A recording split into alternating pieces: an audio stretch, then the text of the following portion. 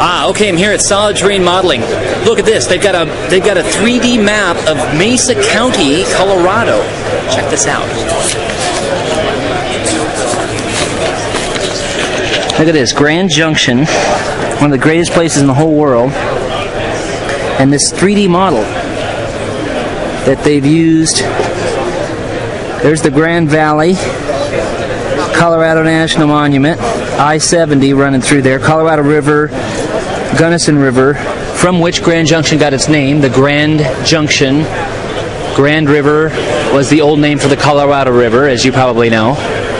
The Book Cliffs, Green River Formation there, Mancos Shale here, and this is all lava flow. That's why the Grand Mesa is so flat. It's a it's a low flow. It's a slow flowing ancient lava formation. Grand Mesa. You've got the Powderhorn ski area, which is right there. Polyurethane.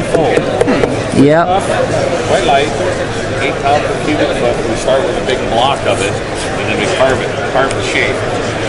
And then we put this white coating on here, which is five layers, and that becomes our palette. And we print the image right on that surface.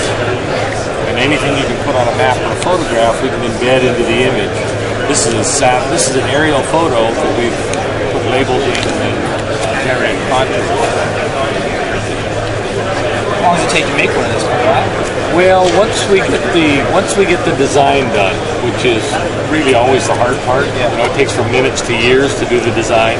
Once we get past that two to three weeks from to delivery or to shipment. I should say. The actual process is about four days long. That is awesome. Special tools to get the print to work and all these little crevices. Right. You know, the, the printer actually looks at the elevation data we carved it with in order to fly the print heads. Hmm. So the print heads are set out intelligent for flying. And it's six thousand dollars with print heads flying out there, so they have to be pretty precise oh, about where they fly.